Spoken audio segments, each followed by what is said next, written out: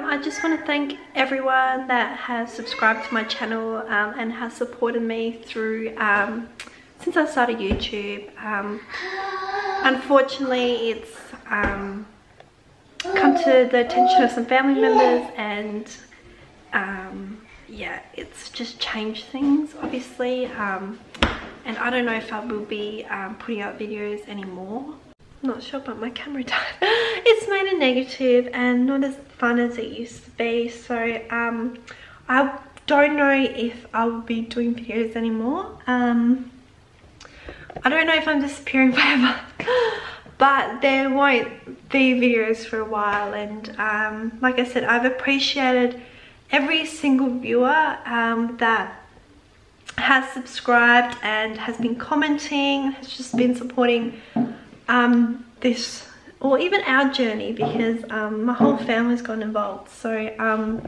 so thank you so much guys. Um, I I'm sorry um, this is the way it is at the moment. Um, I don't know if I will be back.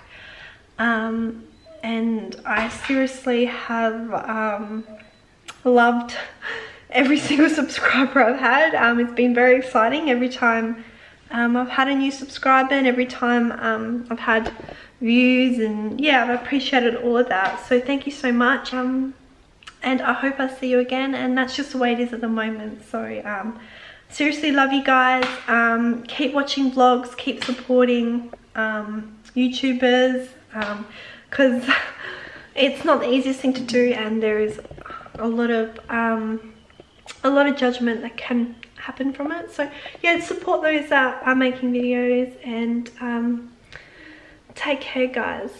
Bye